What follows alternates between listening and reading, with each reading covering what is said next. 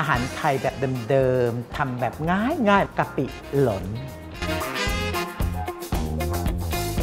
อืกลิ่นหอมมากเลย